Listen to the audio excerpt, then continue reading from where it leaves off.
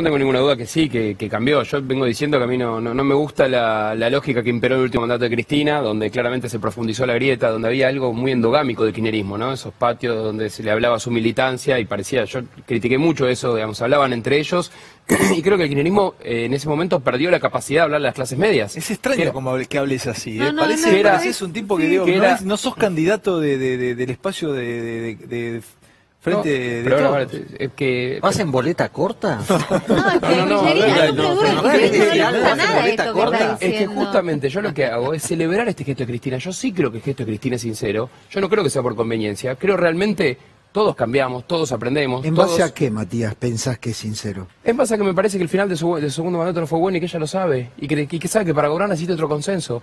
Hubiera sido muy difícil para Cristina gobernar ganando. Y ella lo sabe. Necesita otro Es consenso mujer- para tener la chance de llegar. Eso, yo creo que no. Es una mujer muy inteligente, Cristina. Eso es innegable. Para mí es uno de los cuadros políticos más brillantes de los últimos años, sin ninguna duda. Más allá de las diferencias que uno pueda tener. Y creo que ella entendía que necesitaba un consenso, que necesitaba ampliar la base para gobernar, que iba a ser muy difícil por muchas cuestiones, no solamente nacionales, por una cuestión de coyuntura regional.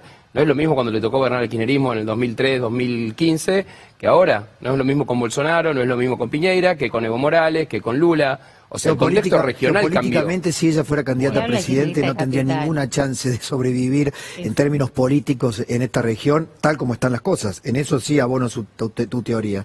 Ahora, es, eh, es muy difícil, porque aparte es una subjetividad plena, ¿no? En mi opinión, eh, las personas tan fácilmente no cambian. Sí sus cálculos. Eh, me parece que, es, que ella claramente ha vislumbrado. La frase fue de Alberto Fernández. Sin Cristina de, de Alberto Fernández explicando también la impotencia del peronismo, los eunucos políticos que rodearon a- a- al peronismo durante todo este tiempo. Sin Cristina no se puede, con Cristina no alcanza. Entonces hacía falta un vicariato, hacía falta un vicario del poder de Cristina y lo nombró Alberto Fernández. Ahora, ahora, no, no, esto ya es una interpretación política, por supuesto, ¿no? Que, que la, la- la contrapongo, pero eh, la campaña, no en tu caso, ¿eh? porque yo coincido, tú, eh, no, digamos, no pareces candidato este, de ese riñón autoritario eh, que impone, todo lo contrario, no pareces, no tenés el physique du rol.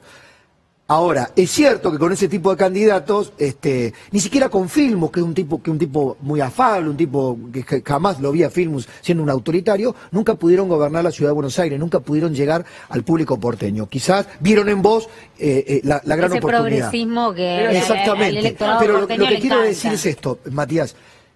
Las evidencias que han surgido en la campaña, algunos fallidos del propio Alberto Fernández, más este, muchos que rodean al kirchnerismo, del propio Aníbal Fernández, que me podrán decir es un personaje marginal, satelital, que hoy no, muestran todavía esa esencia autoritaria que no ha muerto, que está larvada, que está ahí, este, y que nadie tiene demasiada seguridad cuando se llegue al poder si no va a aparecer.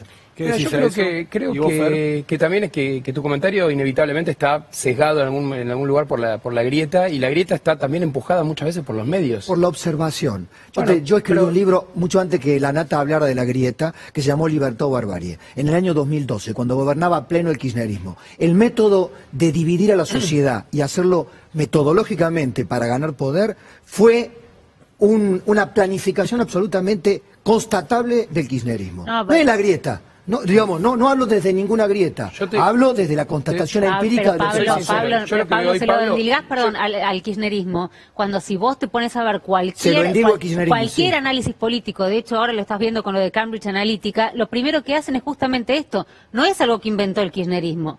El kirchnerismo El lo pudo- kirchnerismo lo resucitó El de las lo antinomias históricas de la pero Argentina, acá- pero- esas que vimos en el primer informe.